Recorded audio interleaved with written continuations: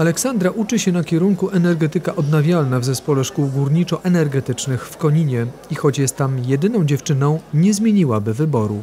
To był strzał w dziesiątkę, bo y, nie uczymy się tam tylko wiedzy teoretycznej, ale też praktycznej. Spawamy, ja też y, będę wyrabiała kurs spawacza, lutujemy, także jest naprawdę bardzo ciekawie.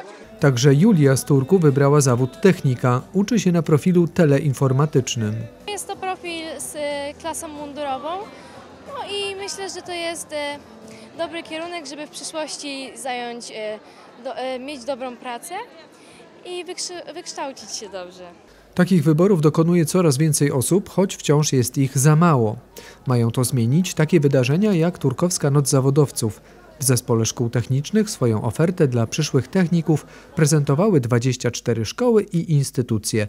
Było w czym wybierać. Mamy takie kierunki jak technik programista, technik architektury krajobrazu, technik reklamy, technik budownictwa czy technik spedytor oraz e, pozostałe jeszcze inne kierunki. Od dwóch lat mamy również liceum ogólnokształcące. E, Mamy tutaj profil ratownictwo medyczne od tego roku szkolnego, ale również oddział przygotowania wojskowego. Do wyboru szkół zawodowych mają uczniów zachęcać także inwestycje w najnowszy sprzęt, jaki trafia do takich placówek. Tak jest choćby w Zespole Szkół Technicznych w Turku.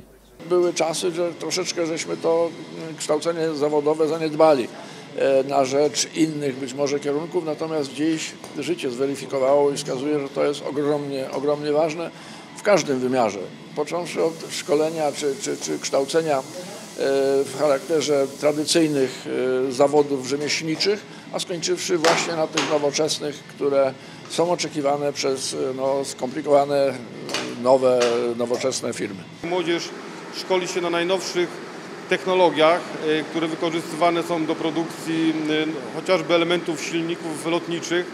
Y, Zdobywając tą wiedzę, dbają o swoją przyszłość i wydaje mi się, że to, co zrobiliśmy wspólnie jako samorząd Wielkopolski i zarówno powiatu tureckiego, jak i Sejmik Województwa Wielkopolskiego spowodowały, że to szkolnictwo dało szansę na rozwój również przemysłu w naszym powiecie, który musiał sobie poradzić z likwidacją przemysłu paliwowo-energetycznego. Podczas Nocy Zawodowców Mariusz Seńko, były dyrektor Turkowskiego Zespołu Szkół Technicznych, który rozpoczął budowę tam profesjonalnych pracowni zawodowych, otrzymał odznakę za zasługi dla województwa wielkopolskiego.